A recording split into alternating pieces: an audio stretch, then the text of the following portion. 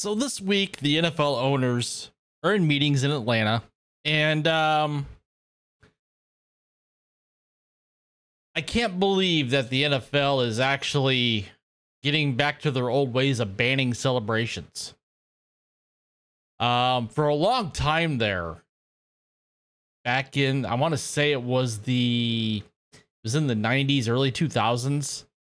Uh, the National Football League was known as the No Fun League because they banned celebrations. And you can you can correct me if I'm wrong down in the chat. Which, by the way, if you would please, um, a couple of things you can do to support the channel, support the things that I'm doing here on the channel, and they're free. Uh, give me a thumbs up, give me a like, hit that subscribe button, hit that notification bell so you don't miss a video. And uh, again, before you leave, leave a comment in the chat down below or in the comment section down below. So, back to what I was saying. The NFL for a long time was the no fun league. And then they started to relax some of those rules about celebrations. And now you and now you see more and more celebrations. But one celebration they don't want you to see. And I'm pulling this article from Breitbart. It seems to be the only place that I can find anything about this. No place in professional football for finger gun gestures. That's right. You can't do the pew pew pew. Or you can't do the first down. Or anything of that measure. Otherwise, you're going to get a penalty for unsportsmanlike conduct and a 15 yard penalty. I just said penalty twice. Anyway, you guys get the gist of what I'm saying. So here we have Troy Vincent. He's the executive vice president of operations for the NFL. During the meetings I mentioned down in Atlanta, where he says there's no place in professional football for that. That's according to Ian Rapoport of the NFL Network. So yeah, we're we're back now to penalizing celebrations. Um as an example, Kansas City Chiefs tight end Travis Kelce addressed the NFL increased calls against finger gun gestures, saying it's my Second Amendment.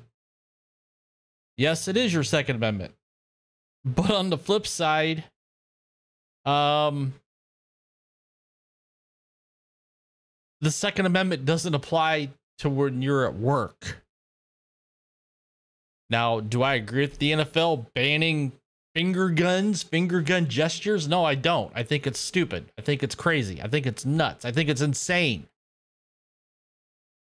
But them's the rules, I guess.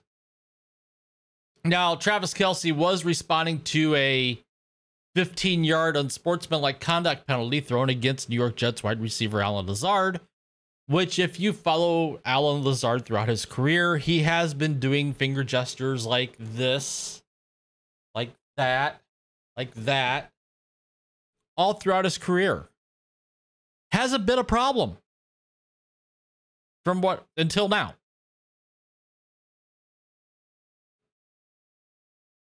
Um, New York Giants wide receiver Darius Slayton has also voiced opposition to the finger gun crackdown as he believes there's a double standard in the way penalties are metered out.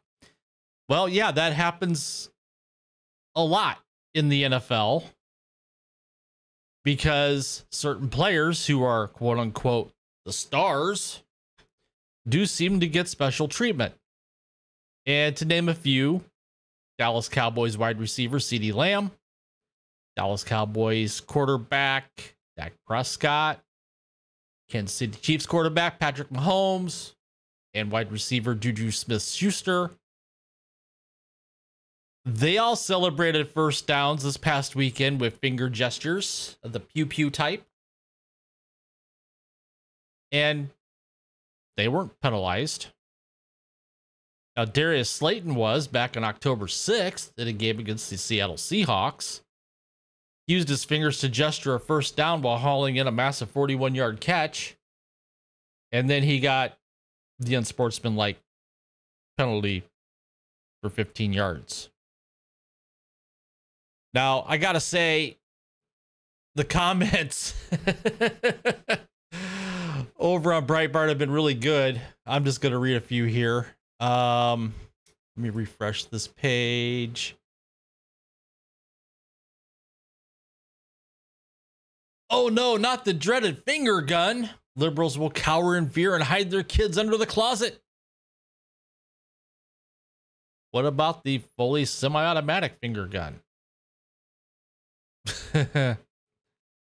um, this one here Jim Harbaugh. Football is the last bastion of hope for toughness in American men. And the woke, you know what's, are doing everything in their power to feminize it. Um, what is fully semi-automatic? That that's a good one. Uh, only ten fingers available.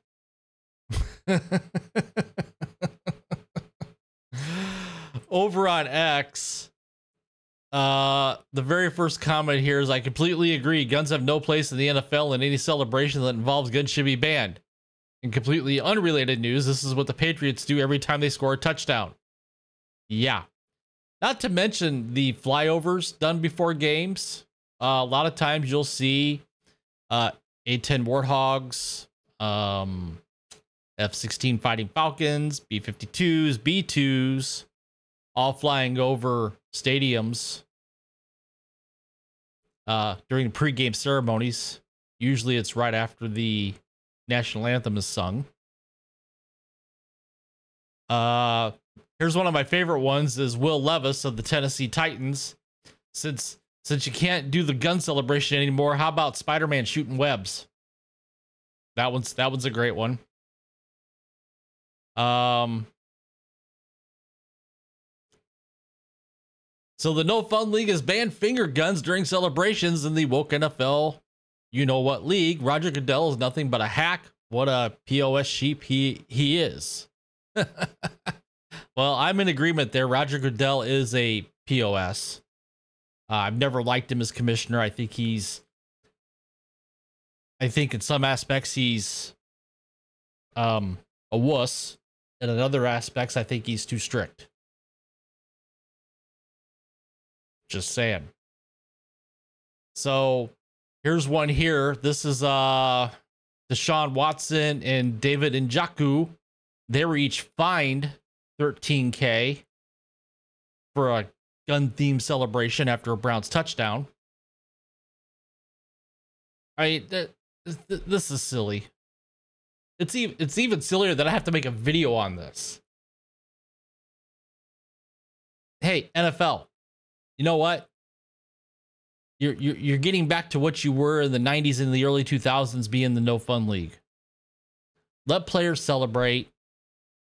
I mean as a kid finger guns were a thing. They still are a thing. So there you have it. Comment down below. Tell me what you think. While you're at it please take the time to give me a thumbs up. Smash that like button Subscribe to the channel if you haven't already. Hit that notification bell so you don't miss a video. And with that one, I will see you guys